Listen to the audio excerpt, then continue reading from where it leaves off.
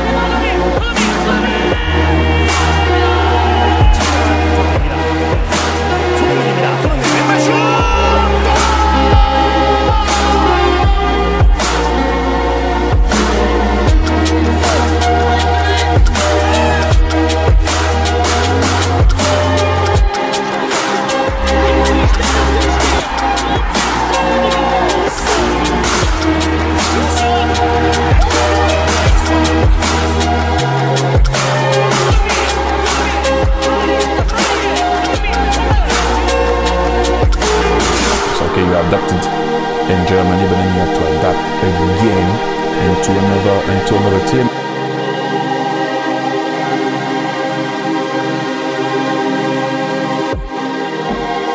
You know, this is my dream. You know, I'm living in my dream. You know, but I can't believe it. And, uh, I'm just happy to, to be here in England and play to Premier League. Premier League was one of the, my